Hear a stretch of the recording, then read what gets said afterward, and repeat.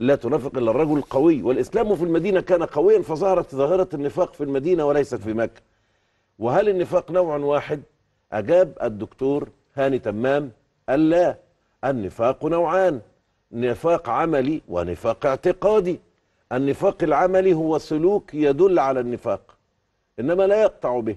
أما النفاق الاعتقادي والعياذ بالله هو النفاق الذي يودي بصاحبه إلى جهنم. نعم. ثم استطرد فضيلة الشيخ أشرف الفيل. وهو يشرح لنا أن المنافق يحتاج إلى فترة إعداد وتدريب إعداد للقلب لكي يكون ويحصل على رتبة منافق. أكمل يا شيخ أشرف نعم فهنا النفاق آه، عشان إنسان لسانه ينطق بالكذب أو عشان يخون أو عشان يغدر لازم القلب ده يبقى مهيأ لإني يعمل الحكاية دي. لأن نعم. القصة دي بتيجي من القلب ما بتجيش باللسان أو بالكذا فبتيجي من القلب اولا. فحينما يقول القرآن الكريم ومن أهل المدينة مردوا على النفاق لا تعلمهم نحن نعلمهم أي نعلم هذه القلوب حقيقتها التي سوف تنقلب دي ما. فيهاش شك أمال لا. لا تعلمهم دي لا تعلم ما هو ما يعرفش قلبهم. أنا ما أعرفش إيه اللي في قلب حضرتك. آه. وحتى ولا النبي يعرف إيه اللي في قلب الشخص اللي قدامه. وبالتالي ده دليل على أن رسولنا الكريم صلى أيوة، الله عليه الله وسلم وسلم. لم يكن يعلم أيوة. شخوص المنافقين. لا. هو النبي عارف إن في منافقين. آه. إنما زي- زيد وعبيد وسين وصاد بوحي. ما يعرفش. بوحي. كان بيجي له بوحي. آه. لما قالهم لسيدنا فإن لم الوحي. اليمان.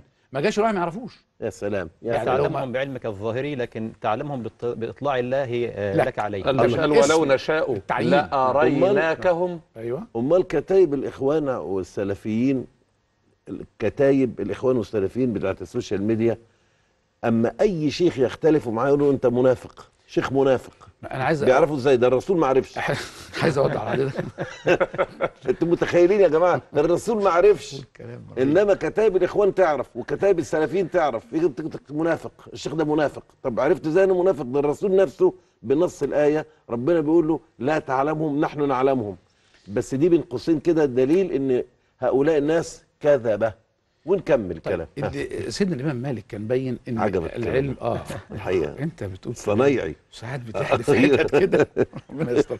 لا أنا عايز أقول بس حاجة. إحنا ال- ال- سيدنا الإمام مالك كان يبين أن هناك أربعة لا يؤخذ منهم العلم وذكر منهم الإنسان اللي هو صاحب يعني هوى. آه هوى نعم. اللي عنده هوى في قلبه. أنا لما أجي أحكم على حضرتك ما ينفعش أحكم على حضرتك بالهوى مش بالهوى مش أنا بحبك أو بكرهك فاحكم. بالمناسبة يا دكتور أشرف الإمام يعني- مالك آه. قال كده قال إذا وجدت رجلا.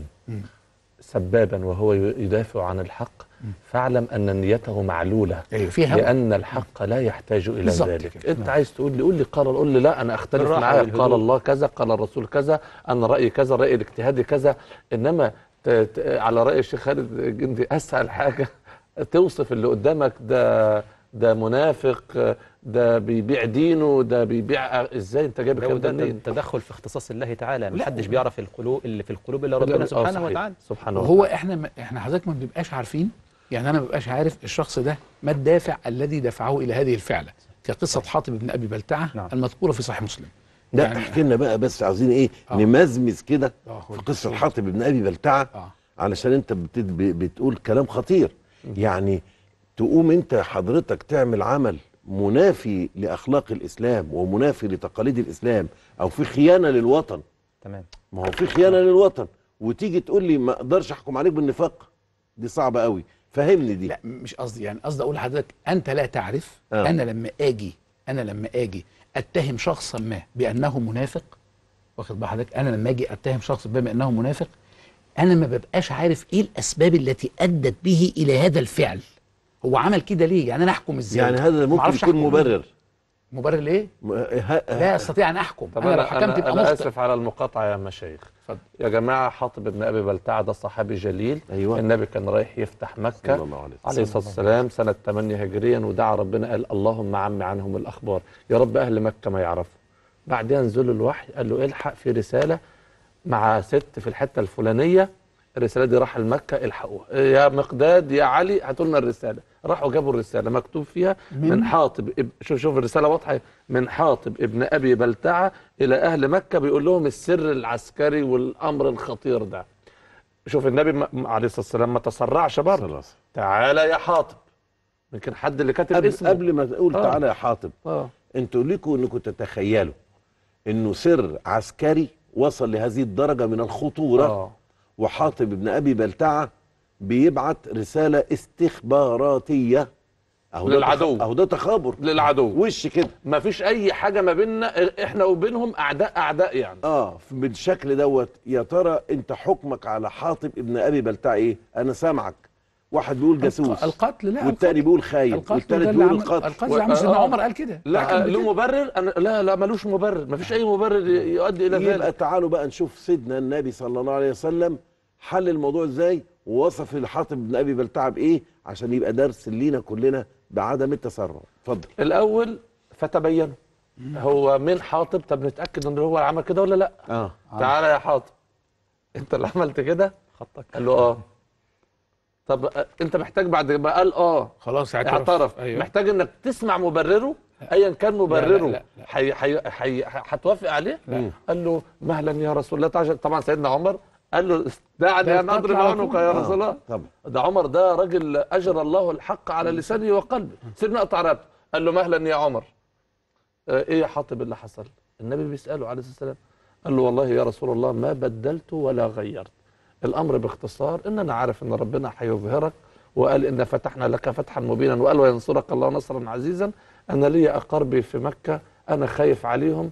فأردت أن أفعل شيئا يذكرونني به حتى لا يمسهم أحد بسوء. الله الله وإذا كان الوحي ما هو قبليها قبليها بسنة ونص ربنا قال له وينصرك الله نصرا عزيزا. فسورة الفتح نزلت. ولقد صدق الله رسوله الرؤيا بالحق لا تدخلون حاطب- فحاطط كل ال ال ال الداتا دي عنده. حاطب متأكد إنه حياه ما هو الداتا دي عنده خلاص بقى. آه. قال لك نزل سورة الفتح وربنا قال له آه. لقد. صدق الله آه، رسوله الرؤيا لا تدخلون المسجد الحرام. فخلاص. شوف فاهم هو بيطمن فقال بس حاجة كده يفتكروني بيها. عشان ما يأذوش أهلي. فعمر قال له عمر ال- ال- رضي الله ال- ال- ال- رضي الله عنه.